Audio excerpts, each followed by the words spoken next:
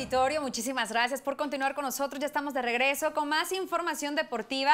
Y recuerden, jovencitos, si ustedes quieren estudiar en la UNAM, pues bueno, y no sabes cómo prepararte, acércate al Colegio Nacional de Matemáticas. Ellos te ofrecen cursos de capacitación para el examen de admisión.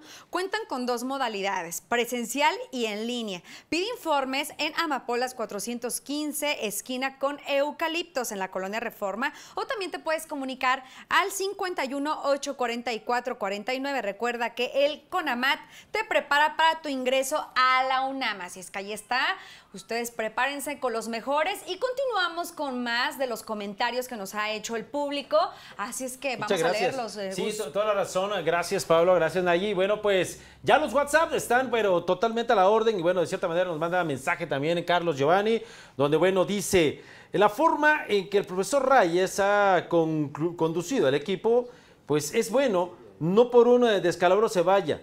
Él tenía cara y produjo en los chavos las ganas de jugar y es lo que importa. Solo resta esperar quién llega a dirigir, el cual debe tener ganas y no por el sueldo solamente. Muchísimas gracias a ese comentario, también muy acertado y está, pues de cierta manera, pues como que inconforme, ¿no? A, lo, a lo sucedido. Fercho Santos, muchísimas gracias. Creo que es una decisión precipitada puesto que en el torneo va bien. El trabajo se ha visto reflejado en nuestro equipo, pero creo, las decisiones son de los, de los altos mandos sin ver al club. Y también nos acaba de llegar un mensaje más, nos dice Juan Orozco, estoy en desacuerdo con la destitución de Rayas porque ya tenía tiempo. Bien bueno, ya tenía, ya había, ya, ya, tenía tiempo trabajado bien y ha dado resultados. Muchísimas gracias a Juan Orozco por su mensaje. Ahí está. Sí, hombre, pues bueno, hay comentarios a favor, hay comentarios en contra, pero bueno, al final del día, pues ya se tomó la decisión. Qué pena, pero bueno, ¿qué te parece si continuamos con más de nuestra información y más adelante seguiríamos, pues, em, leyendo los comentarios del público, así es que usted llame y participe. Mientras tanto, pues, ¿qué creen que ya se dieron a conocer los ganadores del Premio Estatal del Deporte 2015? Vamos a ver quiénes son. La Comisión Estatal de Cultura Física y Deporte del Estado de Oaxaca, mediante un comunicado de prensa, dio a conocer a los ganadores al Premio Estatal al Deporte en este 2015. Después de par de reuniones entre el jurado calificador, conformado por presidentes de asociaciones deportivas del Estado, ganadores del Premio Estatal y periodistas, además de las personalidades seleccionadas por la SECUDE, llegaron a la decisión de otorgar el premio al atleta Obed Areli Pérez Solís y al entrenador Arturo de Jesús Chávez Ramírez, ambos de la disciplina de luchas asociadas, quienes fueron designados por ser los mejores exponentes del deporte de este año, por lo que se hicieron acreedores del Premio Estatal al Deporte 2015. Obed Areli Pérez logró el campeonato nacional en la división de los 46 kilogramos libre femenil en la Olimpiada Nacional 2015. Así también fue campeona en los 46 kilogramos libre femenil en el Pan American Championship 2015, celebrado en Guadalajara, Jalisco, y también obtuvo el subcampeonato del mundo en la división de 43 kilogramos libre femenil en el World Wrestling Championship 2015, celebrado en Bosnia-Herzegovina. Por su parte, el entrenador Arturo de Jesús Chávez Ramírez es entrenador de Pérez Solís. Asimismo, sus pupilos obtuvieron 15 medallas en la pasada Olimpiada Nacional 2015, con sede en Monterrey, Nuevo León. De igual forma, es entrenador de Cristian Santiago Pérez, campeón panamericano en la división de 73 kilogramos y onceavo lugar del mundo en el World Wrestling Championship 2015. Por otro lado, se declaró desierta la categoría de fomento al deporte, al considerar que las propuestas no cumplían con los méritos que exponía esta convocatoria. La entrega del Premio Estatal del Deporte 2015 se llevará a cabo el próximo 20 de noviembre en el marco de la ceremonia cívico-deportiva conmemorativa al inicio de la Revolución Mexicana y será entregado por el gobernador constitucional del estado, el licenciado Gabino Cue Monteagudo. Informó para MBM Deportes, Pablo Vázquez. Ahí está la, nota entonces del Premio Estatal al Deporte. Y bueno, ya tenemos otra llamada. Es correcto. Vamos a ver quién está detrás de la línea. Te saludamos, Gustavo, Nayeli y Pablo. Omar. Hola, ¿qué tal? Buenas noches, ¿cómo estás? Bien, bien, gracias. ¿Con quién tenemos el gusto? Con Omar Gutiérrez. Omar Gutiérrez. Bueno, pues cuéntanos eh, a lo que estás escuchando en los momentos con lo que está sucediendo con el Club Alebrijes de Oaxaca y Ricardo Rayas.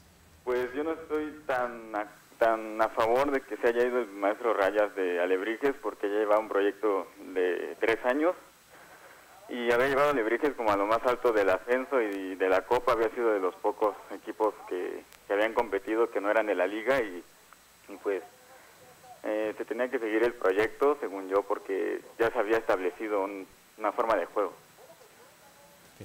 Bueno, a- aquí la cuestión también sería, bueno, vamos a saber si Ricardo Rayas renunció o simplemente lo corrieron, pero tienes toda la razón, son un proceso, es un proceso muy largo, tres años, y se ha llevado bien, de la mano Ricardo Rayas ha llevado al equipo para que se esté calificando constantemente en la liga y también en la Copa, y qué es lo que pensarías entonces, después de que sale Ricardo Rayas, eh, a quién se debería de traer o qué es lo que debería de hacer el club para tratar de mantener ese proceso?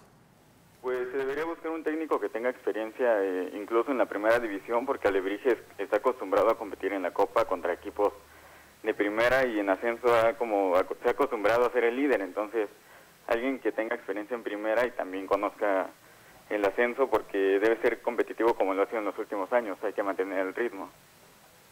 Claro, pues sí, sí tiene toda la razón. ¿Algo más, chicos? Bueno, pues algo más que quieras agregar, este amigo. De verdad, muchísimas gracias por esta llamada. Gracias, gracias a ustedes. Al contrario, gracias a ti, muchísimas gracias por tu preferencia, muchas gracias por participar, público querido, ya saben, los teléfonos del estudio están completamente a su disposición. Mientras tanto, pues bueno, ahorita leemos ese, Sí, ese mensajito. Venga. Vamos a mandar a la, siguiente, a la siguiente nota, pues se acabó el sueño de Alebrijes en la Copa MX, vamos a verlo. Terminó el sueño de la Copa MX para Alebrijes de Oaxaca. El equipo oaxaqueño cayó derrotado tres goles por cero con los Diablos Rojos de Toluca en el estadio Nemesio 10 por los cuartos de final de la Copa MX. Alebrijes saltó a la cancha con Lucero Álvarez en la portería, Rodrigo Folé y Martín Castillo como laterales, Arturo Ledesma y Diego Mengi en la defensa central, Santiago San Román, Ernesto Vázquez y César Valdominos en la media cancha, Edgar González como enganche y en el ataque Vinicio Angulo y Juan Caballo. Por su parte, José Saturnino Cardoso envió al terreno de juego a Alfredo Talavera en el arco, Cristian Pérez y Ervin Trejo en las laterales, Francisco Gamboa y Jordan Silva en la defensa central, Darío Botinelli y Moisés Velasco como contenciones, Omar Arellano y Eddie Brambila por las bandas y en la delantera Aldo Benítez y Nicolás Saucedo. Alebrijes se hizo del dominio del balón durante los primeros minutos del encuentro. Sin embargo, Toluca pronto niveló las acciones, aunque no hubo peligro en las porterías. Corría el minuto 22 cuando Rodrigo Folé trayó en el área a Aldo Benítez para que el árbitro no dudara en marcar la pena máxima. Darío Botinelli tomó el balón y cambió el penalti por gol para poner en ventaja a los Diablos Rojos. Alebrijes de Oaxaca respondió al minuto 33 con un centro al área, que Vinicio Angulo no pudo rematar. Ya en el segundo tiempo, al minuto 56, Alebrijes de nueva cuenta pudo empatar el marcador cuando Vinicio Angulo estrelló un potente tiro en el poste. Toluca buscó ampliar la ventaja al minuto 60, pero el remate de cabeza de Nicolás Saucedo se estrelló en el palo. El equipo oaxaqueño no bajó los brazos y al minuto 63 Alberto Ramírez cobró un tiro libre que cimbró el travesaño y Toluca se salvaba. Al minuto 77, Toluca en un contragolpe mató las aspiraciones de Alebrijes de Oaxaca cuando robaron un balón y en una gran jugada colectiva entre Moisés Velasco, quien sirvió a Cristian Cueva, y este a su vez le puso la pelota a Omar Arellano para que disparara cruzado a la derecha de Lucero Álvarez y decretar el 2 por 0. Ya al final del partido, en el minuto 83, dentro del área, el capitán de Alebrijes, Diego Mengi, empujó por la espalda a Omar Arellano para que Silvante marcara el segundo penal de la noche.